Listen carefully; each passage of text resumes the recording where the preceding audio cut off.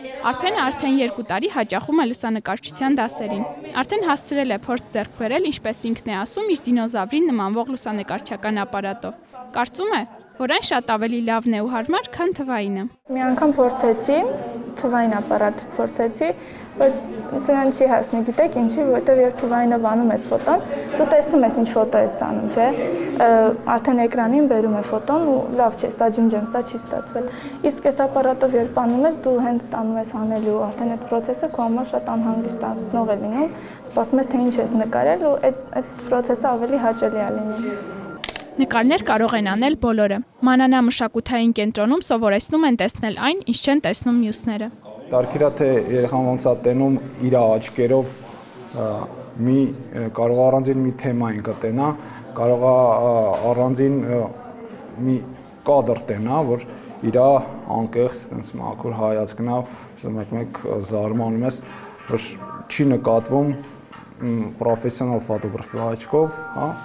բայց երեխեքը նկատում են։ Ասում են, ավելի լավ է մեկ անգամ տեսնել, քան հազար անգամ լսել։ Չնայած ներսում տաք ու հարմար է, երեխաները ցանկանում են դուրս գալ եւ կիրառել տեսածն ու լսածը։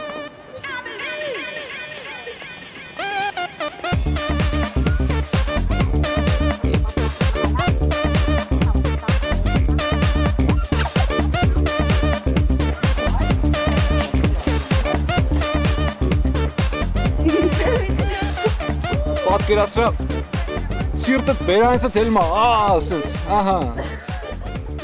Այդ ժեստը դու պետքա նկարես լիլի։